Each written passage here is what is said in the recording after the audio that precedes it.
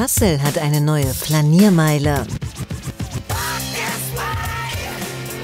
Die untere Königsstraße, vier Wochen lang für Autos gesperrt. Ein Experiment geht an den Start. Autofrei? Oder autofreundlich? Warum ist es so schwer, eine Lösung zu finden? Und du? Flanierst du schon oder fährst du noch? Schreib uns in den Kommentaren.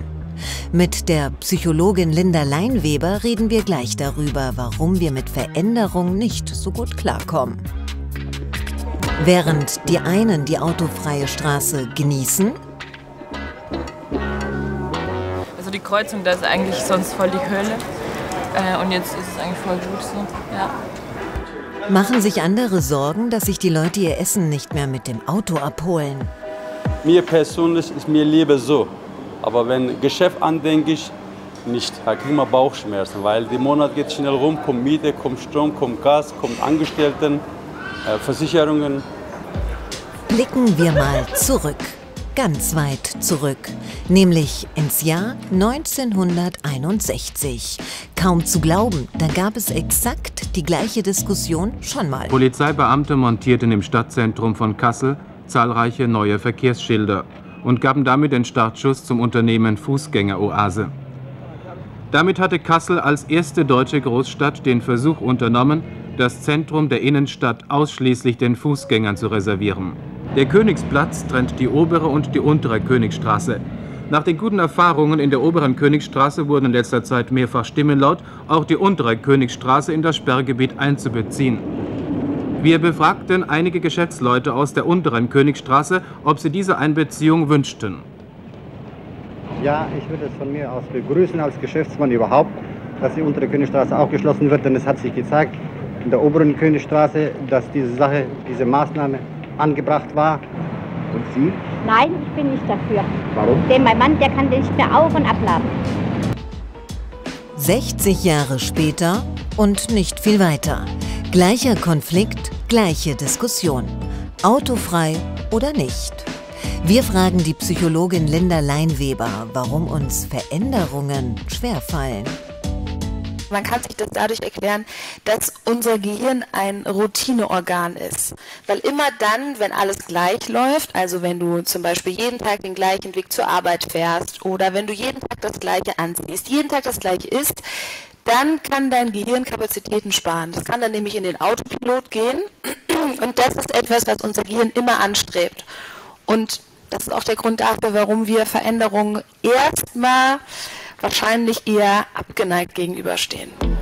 Abgeneigt stehen auch viele Geschäftsleute der autofreien Innenstadt gegenüber. Zu Recht?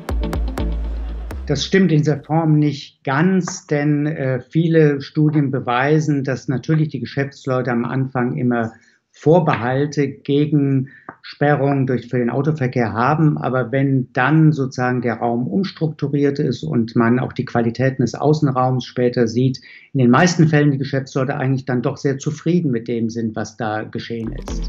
Siehe 1961. Ach, sie hat sich gut ausgewirkt. Das Publikum hat Platz und hat Muße, ohne Störung des Verkehrs über die Straßen zu bummeln und die Auslagen zu betrachten. Und äh, ich finde es sehr gut und finde es äh, wirklich ordentlich. Nach 60 Jahren noch immer die gleiche Diskussion. Warum eigentlich?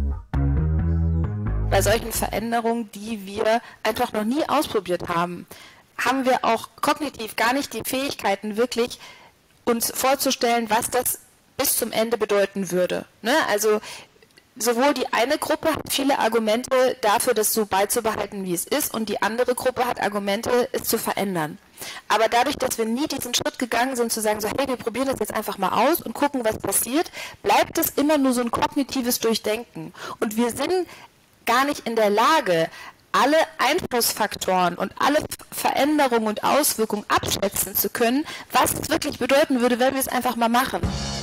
Das hat man sich dann auch endlich mal in Kassel gedacht und nach Jahrzehnten den Schritt gewagt. Autofrei für vier Wochen.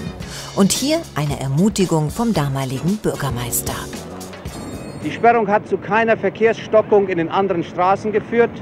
Im Gegenteil, Der große Verkehrsring um die Innenstadt hat seine Verteilerfunktion jetzt erst richtig wahrnehmen können. Also, vielleicht einfach mal machen. Dieser Weg führt zum Abo. Wenn dir der Beitrag gefallen hat, abonniere uns.